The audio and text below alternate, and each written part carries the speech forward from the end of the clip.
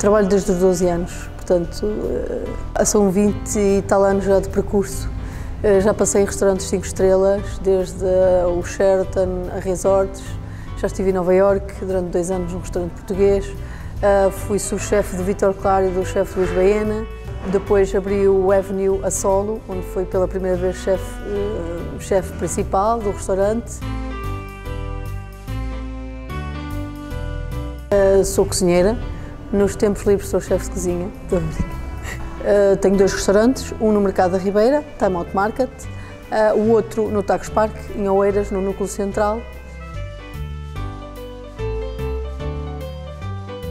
quero muito montar um restaurante numa quinta, quero fazer tanta coisa que é melhor não, não dizer. Tenho muita coisa por fazer ainda.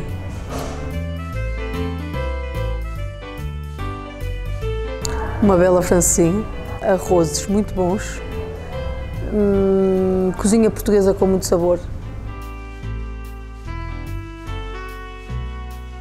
Falei em francesinha, fiquei com vontade de comer uma, já não como há muitos meses. O Ramiro, restaurantes muito, muito tradicionais, tascas, tabernas. Uh, também vou a restaurantes estrelas Michelin, em jantares especiais, mas todos os anos vou a vários mas o que me dá gozo comer numa tasca.